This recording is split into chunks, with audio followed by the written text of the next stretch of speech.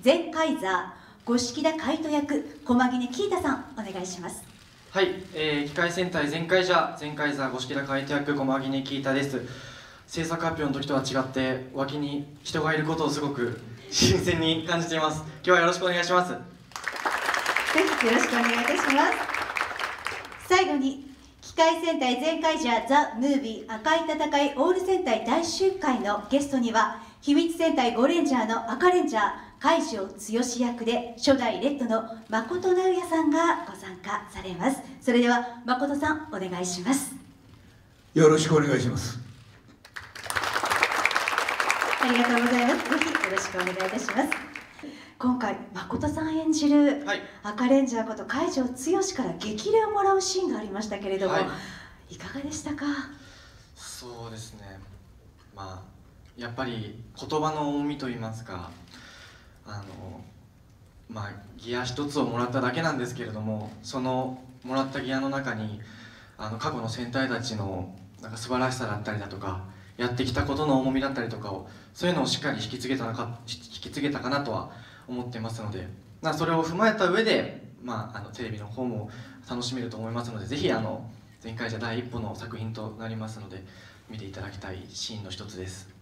はい、ぜひぜひもう楽しみにさせていただきたいと思いますが、誠さんお話伺わせていただきたいと思います、はい。はいよろしくお願いいたします。今隣でその駒木根さんがギアを受けてるそのシーンにも感激してらっしゃいましたがお話聞かれてまずはいかがでしょうか？いやいやあの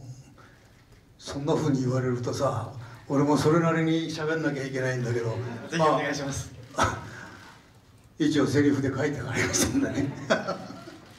でもまあというよりもねやっぱり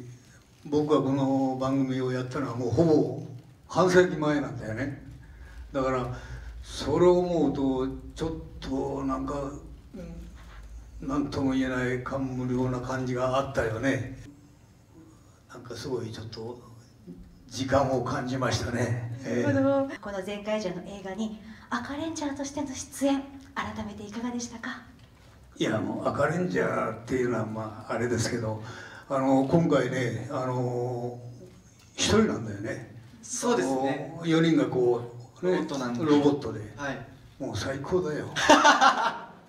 のそういうことだとますますこれからもね、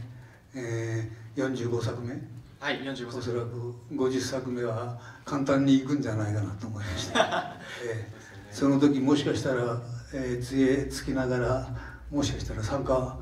できたらね。お。50年目で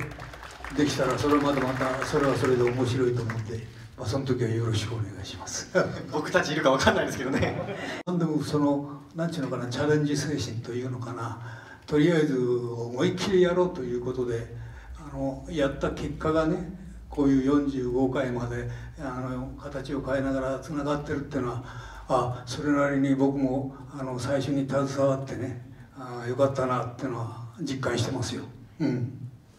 改めて「スーパー戦隊」という作品から受け取ったもの得られたもの何でいらっしゃいますでしょうか？